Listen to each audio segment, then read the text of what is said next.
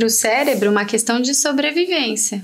Se está com dor, eu preciso manifestar para eu ser cuidado e conseguir viver. Se eu estou com fome, eu preciso manifestar para eu sobreviver.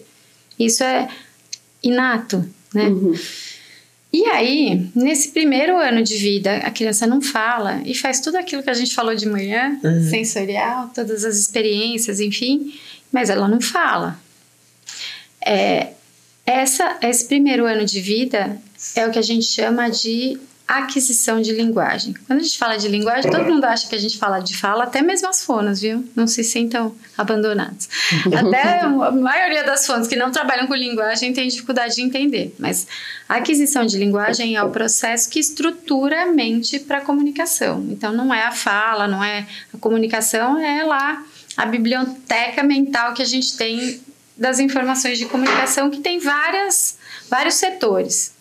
O primeiro setor que se desenvolve é o que a gente chama de pragmática, que é a intenção de se comunicar, que é isso. É o bebê que consegue se expressar através do choro, é o bebê que, é, quando acorda, olha para a porta porque sabe que a mãe vai vir, tem uma intenção, até mesmo no olhar, em um gesto. Por que, que a gente fala que né, é tão importante apontar? O apontar é tão simbólico quanto uma palavra, faz toda a diferença. Às, às vezes a gente pergunta, ah, mas ele aponta, aponta. Aponta como? Assim. Isso não é apontar, isso é alcance dirigido. Né? A criança está fazendo um, uma, um ato motor para pegar. Para tentar pegar. Ela não está conseguindo pegar. Ela não está mostrando para o outro o que, que ela quer. Faz toda a diferença. É, um é concreto, o outro é simbólico. E aí, esse primeiro ano de vida, a criança tá lá, né? Senta, é, engatinha, anda.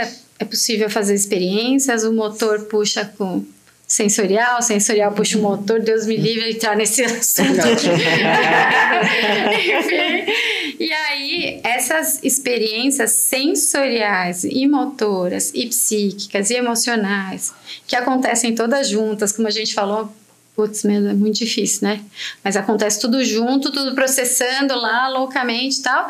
Mas tem lá um setorzinho que é a linguagem, que começa a organizar esses assuntos da linguagem. Então, é a pragmática, que é a intenção de se comunicar, que é esse bebê que consegue se expressar, que é a criança que estende os bracinhos demonstrando o que é colo.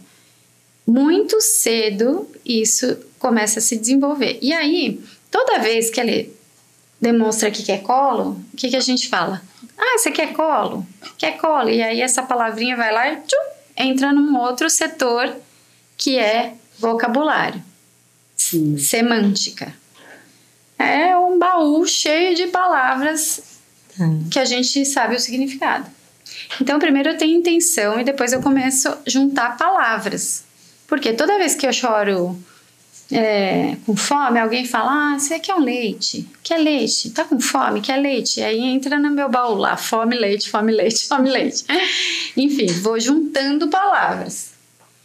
Depois que eu tenho ali um rol de palavras nesse meu baúzinho, eu começo a combinar palavras e a gente começa a desenvolver, a criança né, começa o desenvolvimento da sintaxe que é usar as regras da língua para compor uma frase, para aumentar a extensão do que ela está falando. Então, ela deixa de falar só uma palavra e começa a fazer uso de frases que no início são muito simples, mas vai aumentando a complexidade no decorrer do tempo.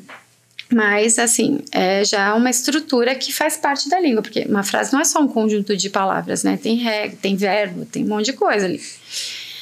E assim por diante. Então, essa esse primeiro ano de vida, onde a criança não fala, ela fica ali armazenando todas essas informações lá.